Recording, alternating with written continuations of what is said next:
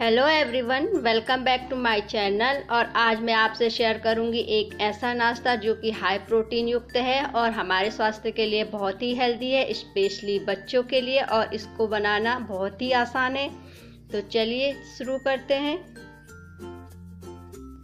ये है रयास की दाल जो मैंने डेढ़ गिलास लिया है, इसको हम रात भर भिगो के रख देंगे।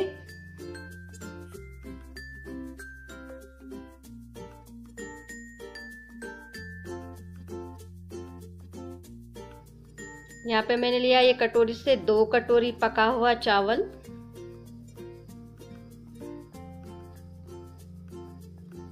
एक टीस्पून जीरा,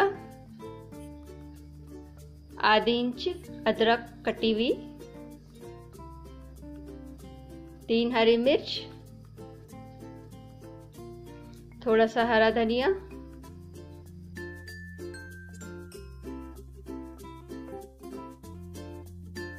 अब इसी जार में हम अपनी रात जो हमने भिगा के रखी थी दाल, इसको हम पीस लेंगे इसी के साथ।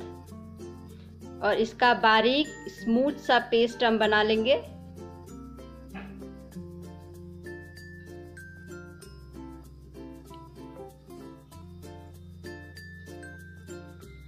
और ये हमने पेस्ट तैयार कर लिया है। अब ये गाढ़ा है, हम इसमें थोड़ा सा पानी डालकर इसको एडजस्ट करेंगे। ये बिल्कुल तैयार है अब बनने के लिए, थोड़ा पतला होना चाहिए, गाढ़ा नहीं होना चाहिए। स्वादानुसार आप नमक डाल लीजिए।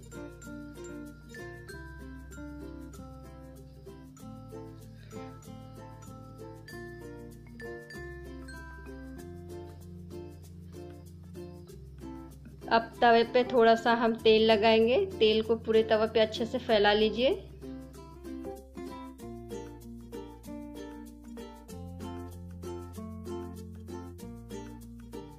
अब इसको हल्के हाथ से घुमाइए।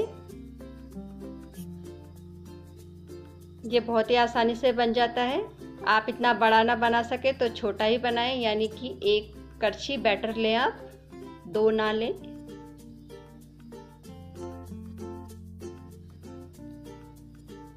आँच आप फुल रखेंगे, हल्का सा कॉर्नर से हम तेल लगाएँगे। एक से दो मिनट के अंदर ये पक जाता है।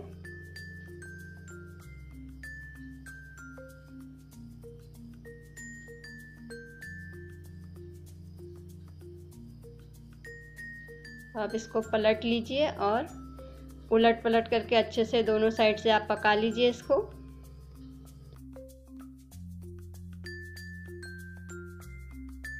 ये हमारा दाल का चीला बिल्कुल तैयार है।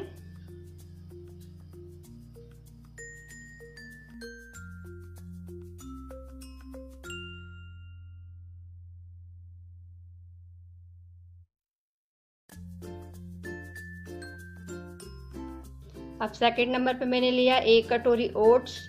ओट्स को मैं कढ़ाई में थोड़ा सा रोस्ट कर लूँगी।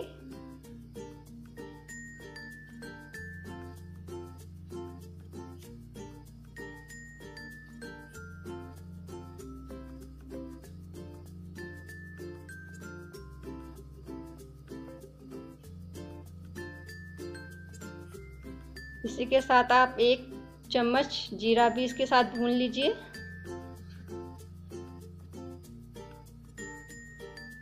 पाँच मिनट भून जाने के बाद हम इसको एक थाली में दो मिनट के लिए ठंडा कर देंगे और उसके बाद हम इसको पीस लेंगे।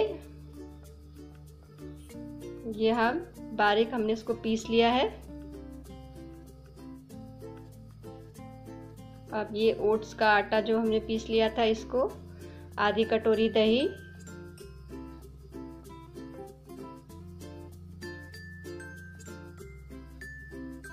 आधी कटोरी सूजी।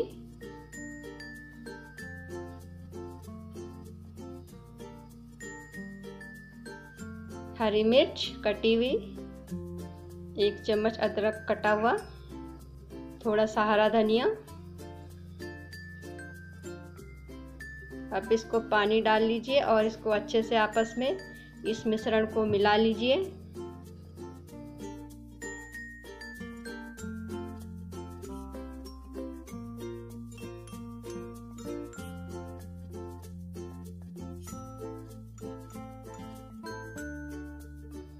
अब इसको हम तकरीबन 20 से 30 मिनट के लिए रेस्ट करने देंगे। तुरंत ना बनाएँ, कम से कम 15 मिनट अवश्य रखें।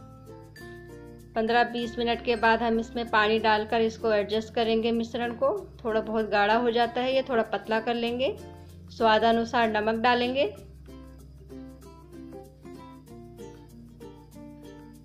अब ये बनने के लिए बिल्कुल तैयार है।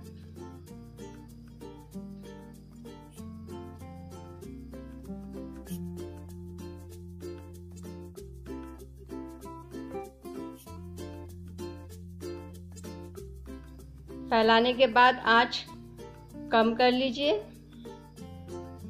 अब इसके ऊपर से हम डालेंगे हरी मिर्च, थोड़ा सा हरा धनिया, और थोड़ा सा कटा हुआ बारीक चॉप्ड किया हुआ प्याज। मिर्च आपकी अकॉर्डिंग कम ज़्यादा हो सकती है।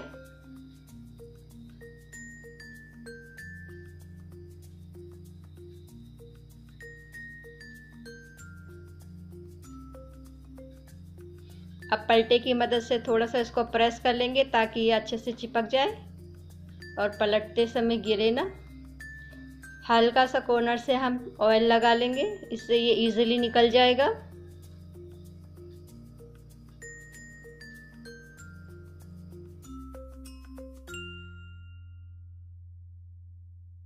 और देखिए ये बहुत अच्छा पका हुआ है।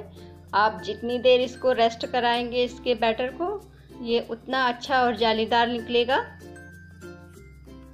उलट पुलट कर कर इसको पका लीजिए।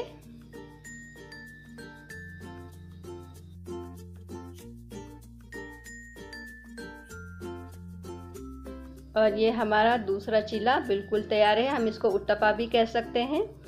यानी ओट्स का उत्तपा भी हम इसको कह सकते हैं। ये खाने में भी उत्तपा के जैसे टेस्टी होता है। और नंबर तीन पे है मूंग की दाल का चीला। एक गिलास यहाँ पे मूंग की दाल और आधा गिलास चने की दाल लिया है। इसको रात भर भिगो के रख दीजिए।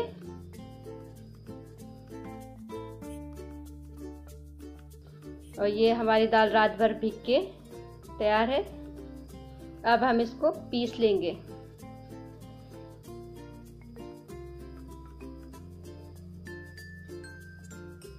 इसमें डालेंगे थोड़ा सा हरा धनिया, तीन चार हरी मिर्च, एक इंच अदरक का टुकड़ा,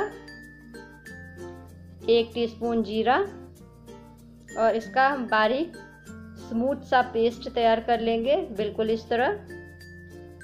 अब हम इसको एक बॉल में निकाल लेंगे। इसको भी हम आधे घंटे के लिए रेस्ट करने के लिए रख देंगे। आधे घंटे बाद हम इसमें पानी डाल के इसकी मिश्रण को हम एडजस्ट करेंगे, क्योंकि ये बहुत गाढ़ा होता है। स्वादानुसार नमक डालिए।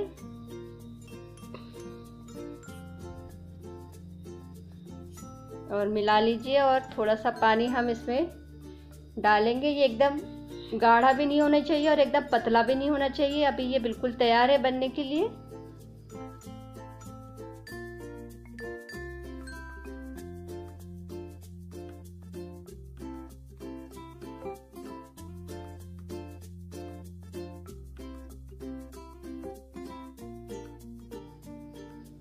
अगर आप इतना बड़ा ना बना सके तो आप छोटा भी बना सकते हैं, कोई दिक्कत नहीं है इसमें। हल्का सा कॉर्नर से तेल लगा लीजिए ताकि ये इजीली निकल जाएगा।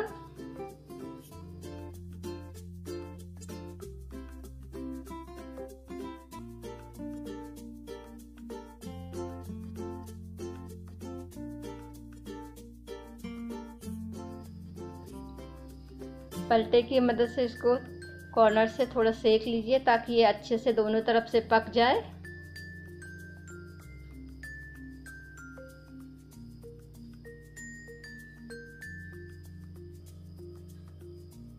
और ये हमारी मूंग का, मूंग की दाल का चीला तैयार है एकदम। तो ये थी मेरी मूंग की दाल की रेसिपी और बाकी दो और रेसिपीज़ भी जो मैंने आपके साथ शेयर करी। उम्मीद है ये आपको बहुत पसंद आई होंगी। ये बहुत टेस्टी होती है खाने में और अफकोर्स हेल्दी तो होती ही है और बच्चे इसको बहुत शौक से खाते हैं। अगर आपको पसंद आई होगी तो ज़रूर ट्राई कीजिएगा। और कुछ इन्फॉर्मेशन देनी रह गई होगी तो मैं आपको डिस्क्रिप्सन बॉक्स में दे दूँगी। आप ज़रूर वहाँ से चेक कर लीजिएगा। तो फिर मिलूँगी मैं आपसे बहुत जल्द अगली वीडियो में। तब तक के लिए मुझे दीजिए इजाज़त। जय माता रानी।